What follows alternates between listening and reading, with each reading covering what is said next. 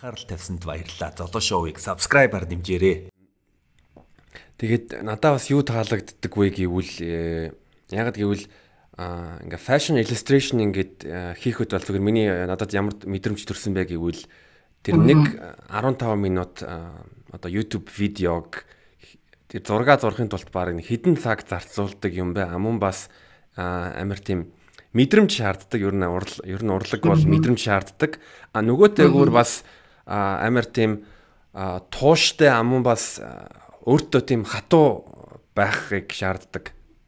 Зөв, зөв, зөв. Аа. Чөөрө мэдж байгаа шүү дээ YouTube видео видео хийх ямар хэцүү вэ гэдгийг те. Жохоо ингээл бичиж авчаал дараа чи видео одоо софтвер дээр тэргээ эдит хийх ямар их цаг ордог.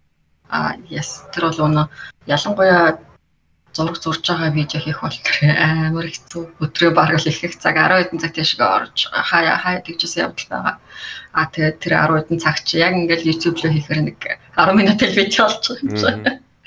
Тэгэл гэрэлтүүлгээ шалтгаалал тэг гэрэлтүүлэг одоо сүүдэрийн тэндээс гэрэл тавилаа камера хаа тавих уу ганц камер байлаа гэдэг чинь бас онц биш шүү дээ хоёр камер тавилаа гэхэд тэр чинь айгүй сан контент хийж чадна тий камера хийн. За хоёрт контента яаж хийх вэ? Мэдрэмжтэй авах хэрэгтэй. Ямар гоё юм хийж хүмүүс анхаарлыг татах уу? Яаж энийг би зөв хийвэл хүүхдүүд би бас зөвөр зааж чадах уу те? Тэр мөрөөгөө агуулх бодолцсон, өнгөө бас агуулх бодолцсон. А дараа нь видео хийчихэд тэр видеогоо эдит хийж явахдаа яаж одоо янзлах уу те? Дуу, оо, caption, caption оо зөндөө юм. Тэр тэгж байгаа л нэг 10 минутын видеог YouTube руу оруулдаг. Тэгээд яг ингээ видеон дээрээ яг дууны сонголтын дээр нь хэрэг цаг зарцуулдаг вэ? Тэр бас амар чухал гэж бодоод байгаа. Тийм шүү дээ. Чи өөрөөс мэдчихэж байгаа тийм үү? Заавал copyright free буюу те нөгөө нэг мөнгө олж одоо мөнгөөр монетайз хийх боломжтой нөхцөлтөө тийм дуугаа сонгох хэрэгтэй. Тэгээд миний туршлагаас гэвэл YouTube дээр агай их нөгөө copyright free music гэж channel байдаг шүү дээ. За тэдрээс авах нь агай буруу юм байлээ. Тэдрээс авлаа гэд тэр чинь ингээд тэгчнээ copyright free гэсэн мөрчлөөсө дараа нь ингээд өөр компани үгүй наадах чинь наад нэг 5 секунд 10 секунд манай компанийх наа чи үгүй гэд одоо видеог чинь мөнгөнд байхгүй болгочдөг. Надад агуулх тийм тохиолдчихсан.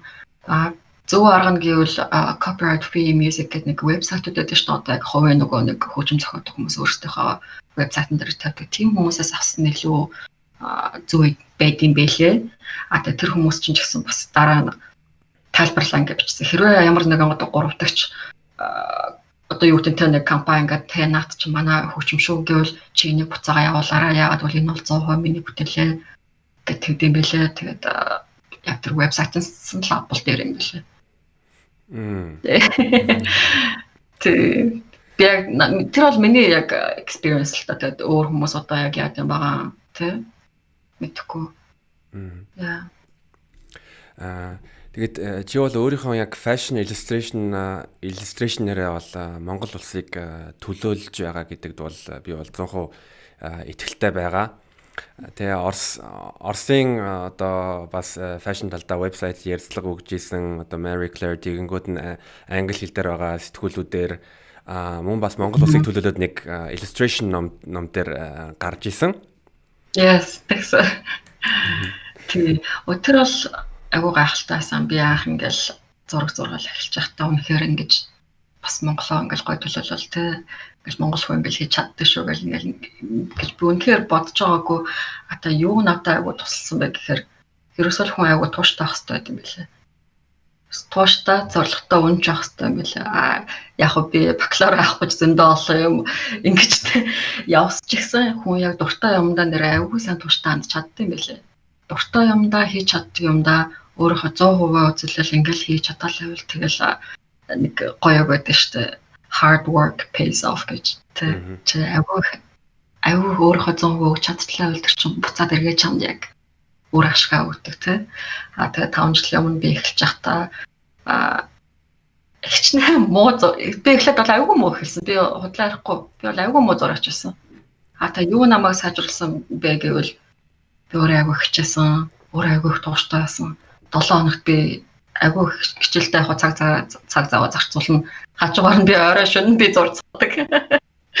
Удахгүй амархгүй нэг жоохон тэрх асуудлаасан гэхдээ би айгүйх тууштай байдаг байсан айгүйх чармаасан тэр маань тэгээд айгүй хөрөөгөж надад өгсөн.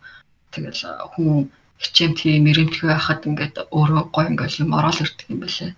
Би тэрийг бол өстой тэг мэдэрсэн гоёасан. А хажуугаар нь чи хаандах вэ? Чи where you from гэж тэгтэн ингээл монгол хэл тэгтэн айгуу гой санагдаж байгаа юм чи ингээл yes. Тэг одоо ингээл хардаг бах би хардаг л да тэгэл яг монголын ингээл зураач ингээл fashion illustration яг ингээл байхгүй. Яг нөгөө төлөө айгуу харамсалтай санагддаг. Гэтэ тэгээд би айгуух найдвартай байгаа. Айгуу мундаг олон зураачд байгаа. Тэд нар ч гэсэн ингээд сайн ингээ мэрэгээд ингээ яваасаа те. Сошиалтаар ингээ өөрөө ингээ сурчлаа сайн яваасаа. Тэгвэл бид тэгэл бүгд хамтдаа ингээл гой Монголынхоо нэрийг гаргаж чадна те.